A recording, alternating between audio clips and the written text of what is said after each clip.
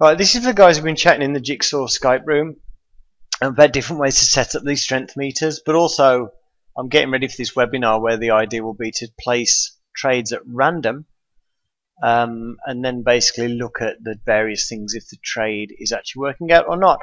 And what we're going to look at here, we've got uh, an ES chart, we've got a Nasdaq chart for intermarket analysis, we've got the S&P 500 tick, which I don't actually use normally, and the regular NYSE tick. We've got the Nasdaq Dome, S&P Dome, strength meter for the S&P, large trades for the S&P, S&P time and sales. So I'm not using a chart or anything. So what I'll do is I'll just stick a random trade in, and what I've got, I've got this to reset the strength meter when I enter a trade, but also to re reset and center all the domes when I enter a trade. So it's going to center the NQ.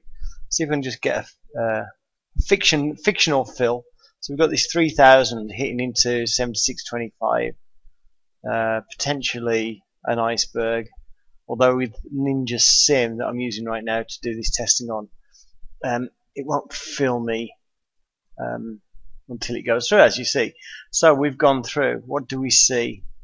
Um, we can see, first thing look at is the order flow. Uh, it's kind of half and half, 50 each side, doesn't really mean much. Large size is on the offer side, on the sell side. Again, look at this, 900 uh, against 162. Again, early days, probably wise to let it come down to 75.25 before cutting, cutting this trade. The market internals slightly down, but not really down in a, in a big way. Uh, Nasdaq just coming down to this point here, 26. Um, that would be a breakdown point. Um, the Nasdaq dome, we can see it's going up a little bit, so that's kind of pulling us up. So let's see if that can give us some power um, we've seen a couple of big buyers come in there, uh, not many. Um, we really need to try and get a few ticks up. I mean, the large buyers there were at 76. We've got 76.25, 76.50. They're kind of getting a bit stuck now. Okay. So, you know, in terms of orders, 2,500, 2,400, about even. We've got some offers stacked, which might be to try and scare the market down. We're predominantly now adding to the bid. Okay, we'll just turn around. Let's see what happens in the next few seconds. The third meter is the pulling and stacking. It's looking a little bit more bearish now. Okay, look at the large size coming in. Um, so you know, this is these are the different things I use: the market internals, Nasdaq, the large trade. So basically, um, just putting a trade in at random um, and then just try and you know see how it's going to work out. I mean, I wouldn't if this was a real trade, I'd want to see uh, 75 this large bid here, 1762. I'd probably wait for it to come down to there, start trading into that, and see if that holds. Um, because I don't see the the Nasdaq's kind of going sideways. You know, the Nasdaq's where it was on the dome, exactly where we entered. So is the S&P. So all this selling, this additional selling, hasn't actually got anywhere yet. Um, so that's basically the things I look at.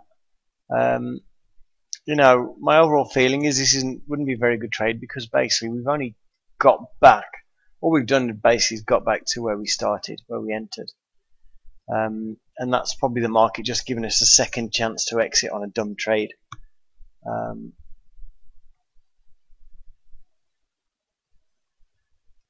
Okay, so we now got some buyers coming in. Okay, if we reset, let's see what these guys can do. If these guys can't actually push this up now, then I think you've got to say that's that'd be a that trade would be toast. Okay, come on, they need to push it up. We've got 930 contracts there at 7625. Come on, that guy needs some needs to get some love. Come on, push it up come on, push it up. We need to get through this high. Nasdaq needs to make a new high here. Uh, we've got to tick up through a new high. Okay, just need the ES to follow now.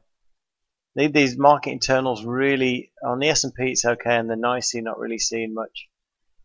Come on, push up, push up, push up. Come on, guys. Thank you. Okay, and that kind of ends the video. So that's the kind of thing that I um, look at. Uh, when I'm entering trade. I'll just let this run. Okay, we see we saw that 2030 trade in there. attempt for the, the sellers to come back in. Um, but uh, but yeah, that's it. So basically, you know, that's the kind of stuff that I look for. What I tend to do is um, try and micromanage the first part of the trade till it gets into profit, till I hit a target. I usually um, scale out at one point. And then when I've scaled out, I'm kind of a bit more easy about where the trade goes. You can see right now, you know, the sellers coming back in and hitting this. But we are in a range. If you look at the volume profile, we've got this area on the volume profile. There's a point of control here. Um, even though it's you know we consider this a different value area, but this value area here has got a point of control here, um, so we're probably going to rotate around that for a while. Anyway, that's your five minute video. That's what I do, and uh, if you guys are doing something different, let me know because always interesting what other traders are doing with this stuff, and it is new, uh, so it's as new to me it is to you. All right, cheers, guys. Bye.